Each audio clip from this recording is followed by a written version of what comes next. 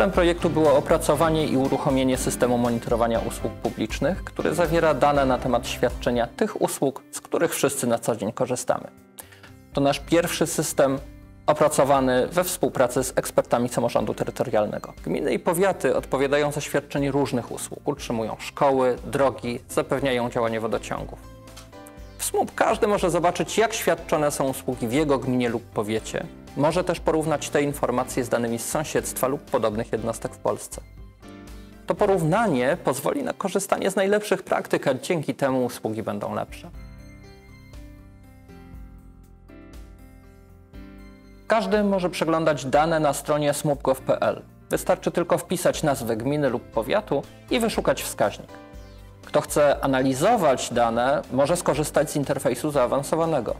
A jeżeli założy konto w SMUP, będzie mógł zapisywać swoje analizy i raporty na później.